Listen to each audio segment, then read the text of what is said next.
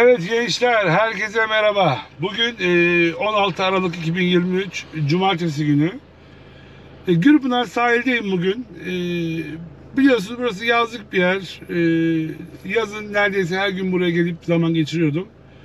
E, bugün de bir e, kış ayında geleyim dedim. Bakalım e, nasıl oluyor kış ayında. E, baktığım kadarıyla gayet sahil boş, kimse pek yok.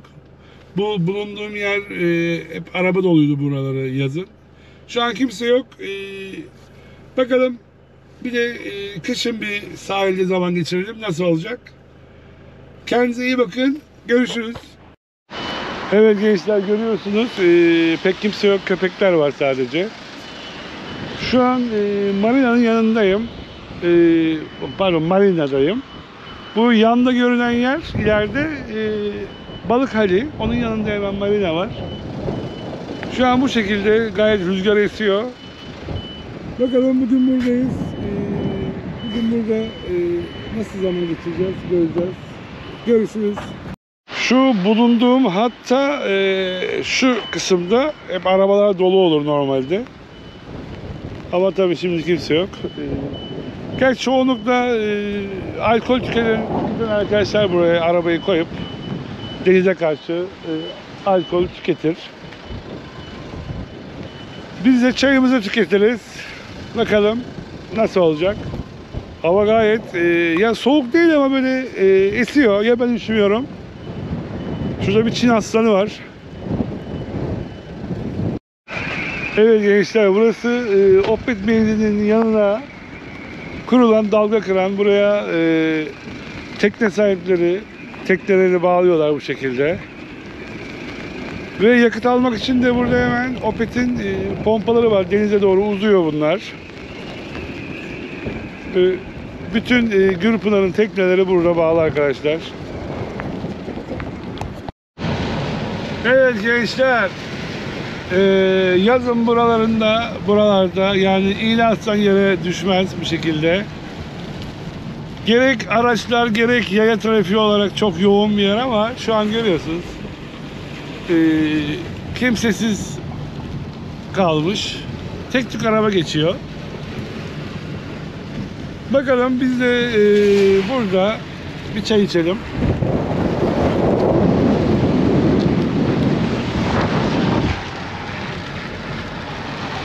Ve Karavancı, karavancı arkadaşlar e, burada. Bakalım karavan parkı var ileride. Orada karavanların durumu ne? Ona bakalım. Bakalım e, çünkü yazın yaklaşık 60-70 tane karavan oluyor orada. Bu şekilde bir gün geçirelim bakalım.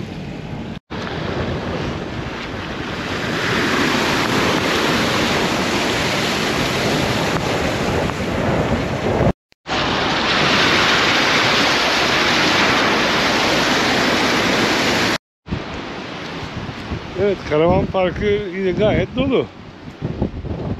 Burası Gülpınar'ın e, ücretsiz karavan parkı arkadaşlar. Evet gençler burası e, Piri Reis Parkı. Ve parkın önü böyle e, resmen dere gibi olmuş yani. Muhtemelen tıkandı bir yerler. Evet şöyle çılgın sürücüler. Bu şekilde. Karavan Parkı'nın e, hemen yanı burası. Su basmış. Şöyle şu tarafa doğru gidelim.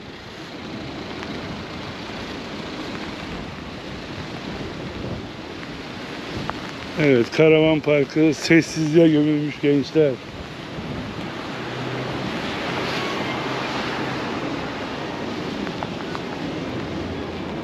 Burada iğne atsan yere düşmüyordu. Taşları da kaldırmışlar herhalde. Bu, yani burada bir çalışma olduğu belli. Evet gençler şimdi e, çay demlemek için ocağımı aldım ama bu bitmiş. Belki ben e, unuttum boş ya da dura dura mı artık boşaldı bilemiyorum.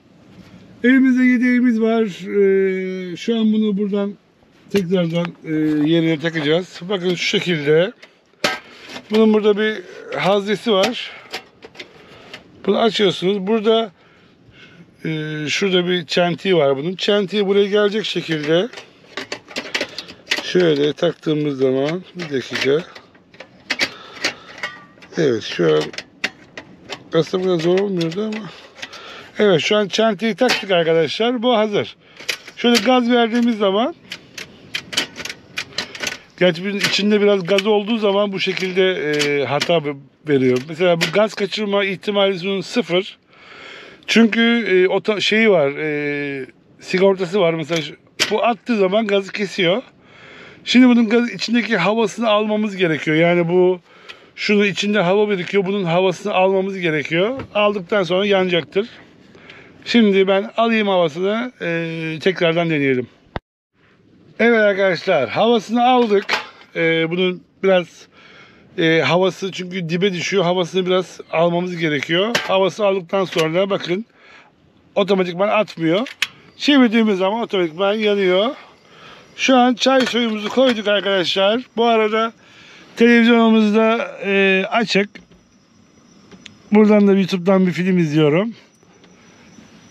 Evet eskici ve oğullarını izliyorum arkadaşlar. Havada gerçekten bayağı bir esiyor demin kapılar küt diye vuruyordu rüzgardan. Yanımda bir de Leysim var. Ee, bu evdeydi yani üç, bayağıdan beri evde bu. 4-5 günden beri falan. Yeni almadım yani. Neyse günümüzü bu şekilde geçireceğiz. Ee, bunun için Araçta şu şekilde e, sallama çay kullanıyorum ben. E, demleme değil çünkü posası falan onu dökmeye yer olmuyor. Bunların temizliği daha kolay.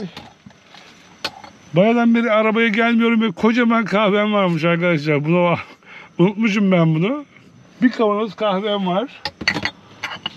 Yani bu şekilde e, bakalım sıcacık bir ortam. Bir de Şimdi bu ocak yandığı için e, içerisi gerçekten ılınıyor. Yani şu an sıcaklamaya başladım çünkü şu an görüldüğü üzere mesela şeyler bu yaptı. Yani bunun ocağın e, ocağın ısısı bile ortamı ısıtmaya yetiyor yani. Çünkü küçücük bir yer sonuçta. Şu şekilde oturduğumuz zaman mesela ben normalde şu şekilde oturuyorum. Mesela bu e, buzdolabı, şu buzdolabını bu araya koyup şunu da şöyle koyayım arkadaşlar. Şöyle e, film keyfi yapıyorum. Yani cips, çekirdek, çay. Yani hani güzel vakit geçirmek için büyük büyük mesela şu yandaki karavan da güzel ama hani bende bu var. Bunu değerlendiriyorum arkadaşlar. Bu şekilde gayet de memnunum.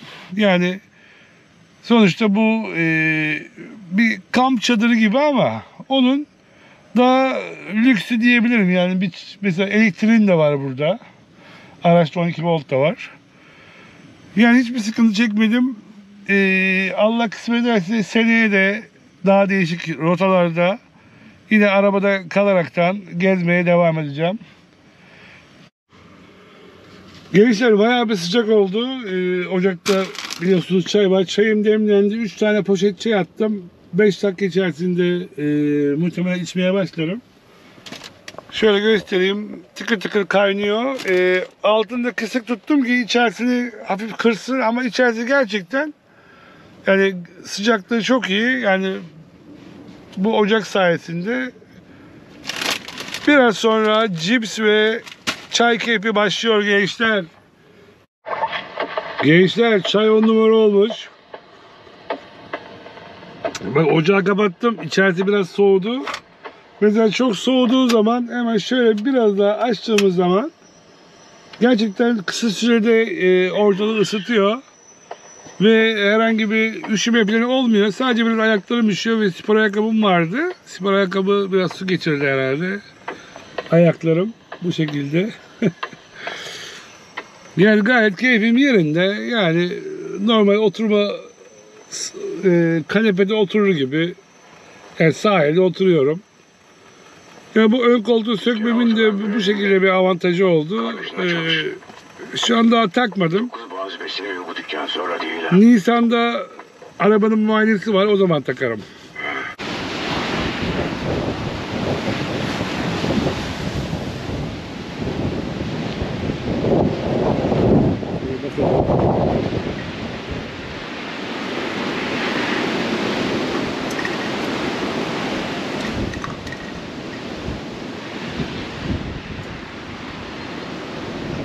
Gerçekten bayağı bir bilek boyu.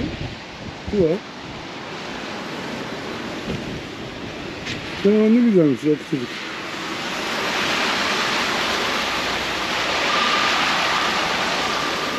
Evet, yerimize doğru gidelim.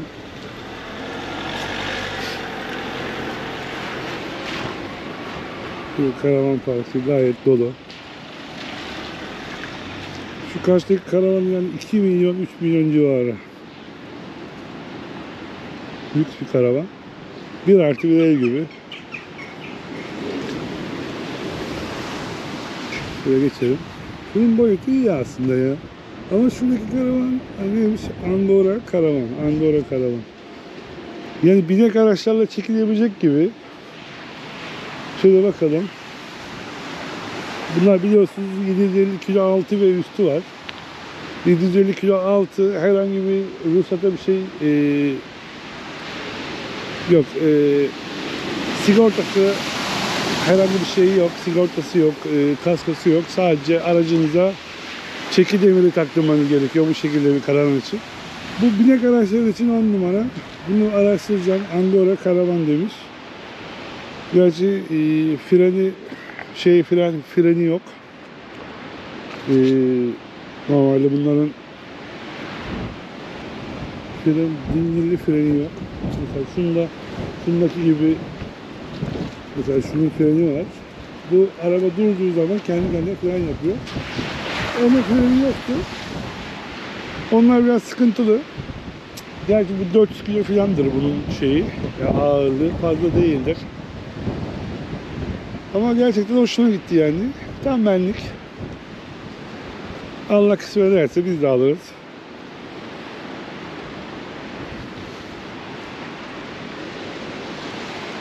Evet. Ya araçlar yavaşlıyor gerçi ama Evet devam edelim biz yerimize doğru. Ben karavanların yanından geçelim bakalım. Motokaravan daha az var. Birkaç tane var motokaravan. Geneli çekme. Değiş değiş hiç görmediğim modelle. Mesela şunu daha önce görmedim. Yana ahşap kaplı gibi. Bu güneş MK'nın MK karavanı. Şöyle bir kış bahçesi yapmış arkadaşımız. Çok güzel.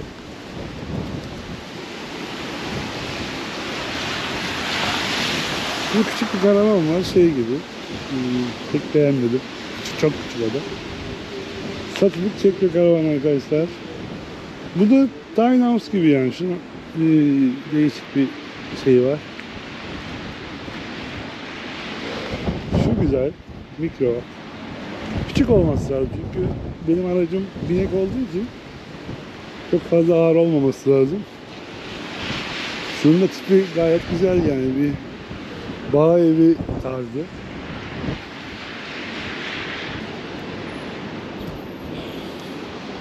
Evet şöyle bir karavanları görelim. Burada çok lüks bir kafe vardı. Yıkılmış yani. Burası yani e, buranın reynası gibi bir şeydi bu. Yani kafeyi yıkmışlar. Muhtemelen belediye mi yıktı artık? Çünkü tıka basa dolu olan bir yer.